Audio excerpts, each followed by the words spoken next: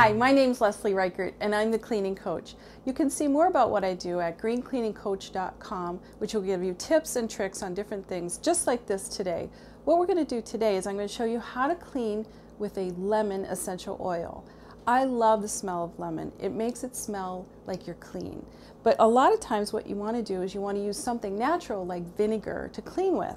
So I'm going to show you a quick tip on how to get that vinegar smell out of your house so your house doesn't smell like a salad.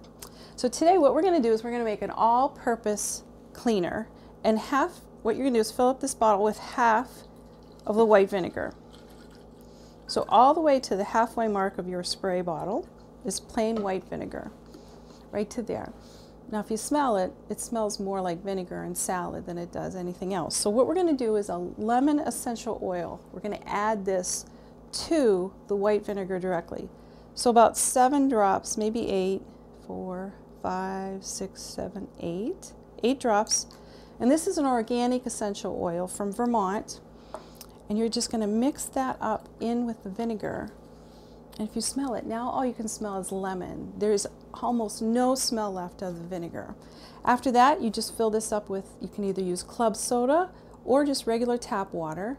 Put your spray bottle on, and now you've got this great all-purpose cleaner for your countertops. It'll disinfect and kill up to about 98% of the bacteria. So instead of using nasty chemicals on your counter, you can use this. And you get the lovely smell of lemon oil. So that's our tip for today, how to work with lemon oil in your cleaners. And my name's Leslie Reichert, and I'm the Green Cleaning Coach. You can visit me at greencleaningcoach.com. Happy cleaning!